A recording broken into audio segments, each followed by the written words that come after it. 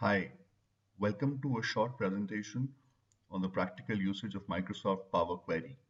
In this video, I'd like to show you how you can dynamically filter data to another worksheet. For other solutions, you may visit my website ashishmathur.com. So here's what the data actually looks like. I have a base data sheet with columns going all the way from A till uh, BG and um, so this is year-wise, country-wise, uh, macroeconomic data from school enrollment to cap gross capital formation and so on. So every uh, country has data right from 1984 all the way up till 2009. So that's 26 rows occupied for each country. So that's for Albania. Then starts Algeria below, once again from 1984 all the way to 2009 and so on. So this is a data set of about 2185 rows. Now, I'd like to do some analysis on this data and am interested in only um, viewing data or rather transferring data to another worksheet, which is for years beyond 1990, including the year 1990. So uh, I'd like to work only on that data set.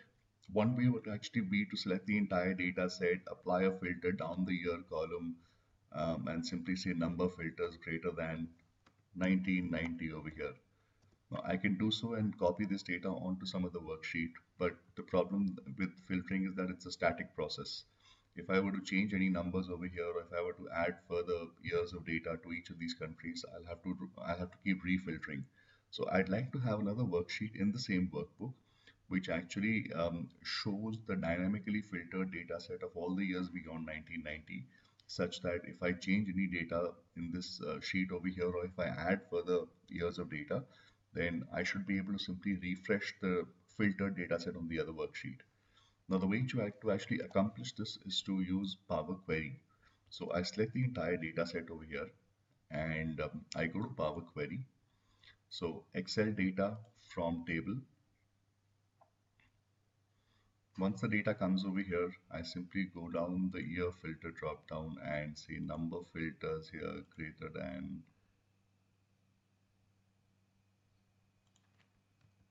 Nineteen ninety. I click on OK.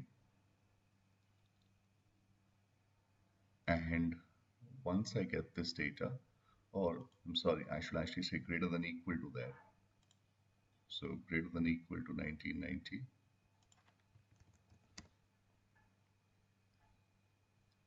once the data is filtered in the Power Query window, all I now need to do is uh, go to close and load and um,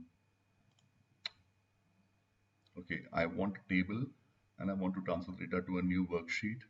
I simply go there click on load. Another worksheet would open up in the same workbook which will actually um, be a dynamically filtered data set in as much as if anything changes on my base data sheet I can right click here and refresh. So I hope you enjoyed watching this short video. Thank you